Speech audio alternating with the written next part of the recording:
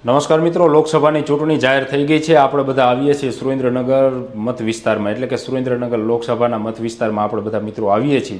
ત્યારે ખાસ મિત્રો, ભાજપ દ્વારા તો ચંદુભાઈ સિંહોરાનું નામ જે છે તે જાહેર કરી દેવામાં આવ્યું હતું. કોંગ્રેસ દ્વારા ઉમેદવાર જાહેર કરવામાં નહોતા આવ્યા, પરંતુ આપણને જે માહિતી મળે છે તે મુજબ કે કોંગ્રેસ પક્ષ દ્વારા જે છે તે ઋત્વિકભાઈ મકવાણાને ફોનથી જાણ કરી દેવામાં આવી છે. એટલે સિંહોરા વર્સિસ મકવાણા જે છે થવાનું છે સુરેન્દ્રનગર લોકસભાની બેઠક ઉપર. એક તળબદા કોરી જે ઋત્વિકભાઈ મકવાણા છે, સિંહોરા જે છે, ચંદુભાઈ, તો તેઓ ચુંવાડિયા કોળી છે. એટલે આ બંને વચ્ચે જે છે તે ચૂંટણી જંગ જામવાનો છે, એ વાત ફાઇનલ છે. તેની સામે મિત્રો મહત્વની વાત એ એક પણ છે કે આપણી ઘણા બધા મિત્રોને કદાચ ખ્યાલ ન પણ હોય કે આ સુરેન્દ્રનગર જે લોકસભાનો આખો મત વિસ્તાર છે, તો એ ચાર જિલ્લાને અડીને આવેલો છે, સાત વિધાનસભાઓ આવેલી છે. તેની સાથે વીસ લાખથી વધુ જે મતદારો છે, મતદાન કરવાના છે. એટલે ખાસ મિત્રો એ પણ માહિતી આપવી છે તેની સાથે ઓગણીસો બાસઠમાં આ બેઠક અસ્તિત્વમાં આવીને ઓગણીસો બાસઠથી બે હજાર ચોવીસ સુધી આ બેઠક પર કોણ ચૂંટાયું એ પણ મિત્રો માહિતી દેવી છે. એના પહેલાં તમને મિત્રો ફટાફટ માહિતી એ એક આપી દઈએ આપણે. કે સુરેન્દ્રનગર લોકસભાની જે બેઠક છે તે સુરેન્દ્રનગર, અમદાવાદ, બોટાદ અને મોરબી જિલ્લો જે છે એના જુદા જુદા ભાગો જે છે મિત્રો આ સુરેન્દ્રનગર લોકસભામાં આવે આવે છે. કારણ કે હળવદ જે છે એ મોરબી જિલ્લામાં આવે છે, પરંતુ મતદાન જે લોકસભાનું થતું હોય તો એ સુરેન્દ્રનગર બેઠક પર મતદારો મતદાન કરતા હોય છે. એવી જ રીતને બોટાદના પણ અમુક જે ગામોને છે આવે છે, સાથે અમદાવાદ ગ્રામ્ય પણ આવે છે સુરેન્દ્રનગર તો છે જ. તેની સાથે મિત્રો સાત વિધાનસભાઓ આવેલી છે અને સાતેય વિધાનસભાઓની એક આ લોકસભાની બેઠક છે. આ સાત વિધાનસભાની મિત્રો વાત કરીએ તો વિરમગામ, ધંધુકા, દસાડા, લીંબડી, વઢવાણ, ચોટીલા અને ધાંગધ્રા. આ સાતે વિધાનસભાઓ સુરેન્દ્રનગર લોકસભા બેઠકમાં આવે છે અને સાથે સાત વિધાનસભા જે છે એ અત્યારે ભાજપ પાસે છે. એટલે કે ત્યાં ભાજપના ધારાસભ્યો ચૂંટાયેલા છે. કઈ વિધાનસભામાં કેટલા મતદારો છે, પુરુષો અને સ્ત્રીઓ અને કુલ કેટલા મતદારો છે? અને આપણી સુરેન્દ્રનગર લોકસભા બેઠક ઉપર કુલ કેટલા મતદારો છે એ પણ માહિતી આપીએ. તેની સાથે ઓગણીસો બાસઠથી બે હજાર ચોવીસ સુધી આ બેઠક પર કોણ ચૂંટાયું એની પણ મિત્રો માહિતી આપી દઈ. તેની સાથે આ બેઠક ઉપર કઈ જ્ઞાતિના કેટલા ટકા વોટ છે મિત્રો એ પણ તમને માહિતી આપીએ. પહેલાં વિધાનસભા દીઠ પુરુષો અને સ્ત્રીઓ કેટલી કેટલા મતદારો છે એ મિત્રો માહિતી આપીએ. તો વિરમગામ બેઠક ઉપર પુરુષ મતદારો છે એક લાખ પંચાવન હજાર આઠસો ને છત્રીસ, જ્યારે સ્ત્રી મતદારો છે એક લાખ સુડતાલીસ હજાર છસો ને પંચાવન. કુલ મતદારો છે ત્રણ લાખ ત્રણ હજાર ચારસો ને સત્તાણું. ધંધુકા બેઠક પર પુરુષ મતદારો છે એક લાખ પિસ્તાલીસ હજાર આઠસો ને અઢાર.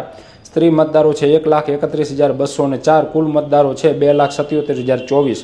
દસાડા બેઠકની વાત કરીએ તો પુરુષ મતદારો છે એક લાખ ઓગણચાલીસ હજાર અઠ્યાસી, સ્ત્રી મતદારો છે એક લાખ અઠ્યાવીસ હજાર છસો ને પંચોતેર, કુલ મતદારો છે બે લાખ સડસઠ હજાર સાતસો ને ચોવીસ. લીંબડી બેઠકની વાત કરીએ તો લીંબડી બેઠક પર પુરુષ મતદારો છે એક લાખ બાવન હજાર નવસો ને તેર, જેની સામે સ્ત્રી મતદારો છે એક લાખ આડત્રીસ હજાર આઠસો ને બેતાલીસ, ત્યાં કુલ મતદારો છે બે લાખ એકાણું હજાર સાતસો ને ઓગણસાઠ.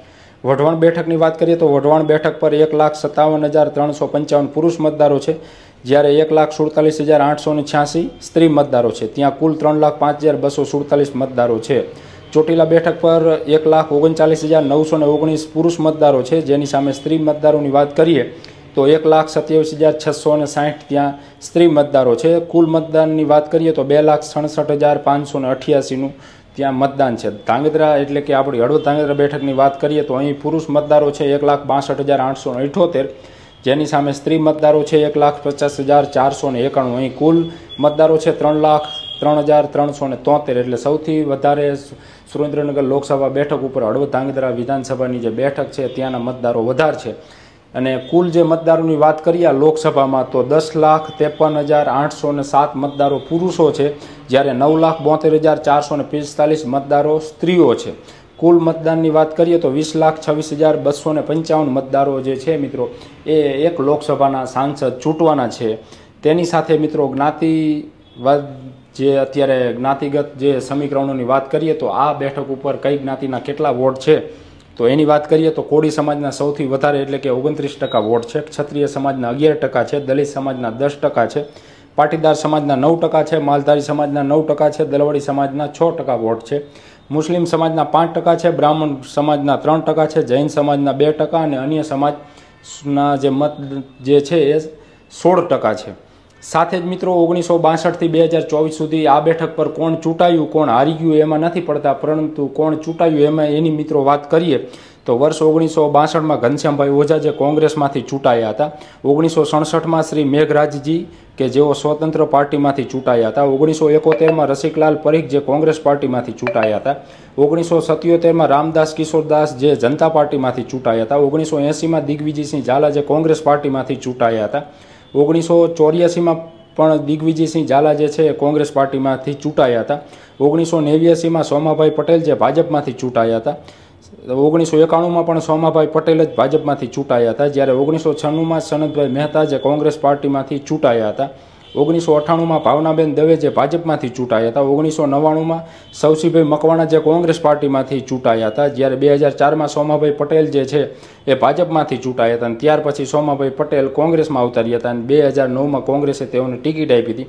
એટલે સોમાભાઈ પટેલ જે છે એ બે હજાર નવમાં કોંગ્રેસ પાર્ટીમાંથી ચૂંટાયા હતા, જ્યારે બે હજાર ચૌદમાં દેવજીભાઈ ફતેપરા જે ભાજપમાંથી ચૂંટાયા હતા અને બે હજાર ઓગણીસમાં છેલ્લે ડૉક્ટર મહેન્દ્રભાઈ મુંજપરા કે જેઓ ભાજપમાંથી ચૂંટાયા હતા અને કેન્દ્રીય મંત્રી પણ હતા. તેની સાથે મહત્વની મિત્રો, સૌથી એક મોટી વાત એ કરી દઈ કે સુરેન્દ્રનગરની લોકસભા બેઠક ઉપર પાંત્રીસ વર્ષથી સોમાભાઈ પટેલનો દબદબો રહ્યો છે. કારણ કે સોમાભાઈ પટેલ ત્રણ વખત હારી ગયા છે અને ચાર વખત જે છે એ સુરેન્દ્રનગર લોકસભા બેઠકનું તેમને પ્રતિનિધિત્વ કર્યું છે. આભાર, મિત્રો.